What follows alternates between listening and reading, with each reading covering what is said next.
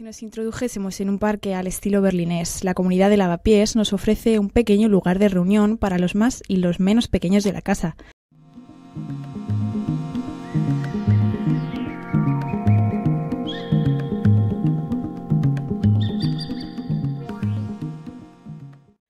Conversaciones con una buena bebida fría o caliente cuando el frío acecha, manualidades de última hora, reflexiones y mucha paz es lo que nos encontramos en esto es una plaza, una alternativa que jamás conoceríamos a través de las guías turísticas convencionales y donde el respeto reina por encima de todo.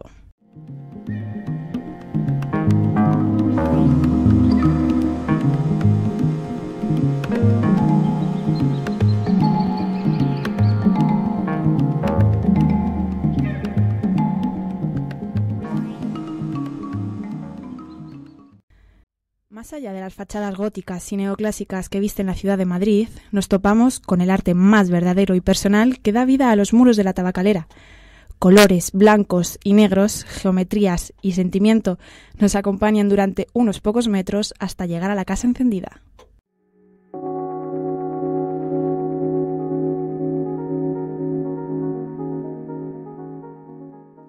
Como turistas ocasionales, tendremos acceso a las exposiciones temporales y eventos culturales programados en el centro. Sin duda una opción para sentirse como en casa aun estando fuera de ella.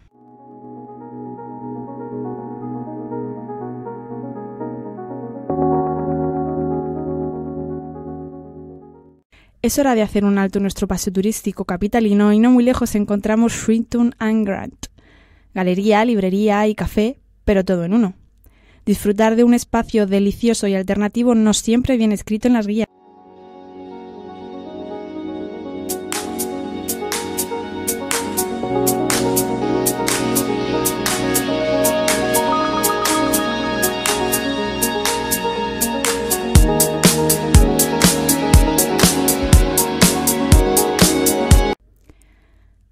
¿Museo de Antropología? Sí, y con música en directo aunque las exposiciones que podremos disfrutar dentro del museo también recorren temáticas plasmadas en fotografía, pintura y escultura. Un espacio diferente y realmente rico en propuestas que no siempre se tienen en cuenta a la hora de programar esas maravillosas rutas por la ciudad.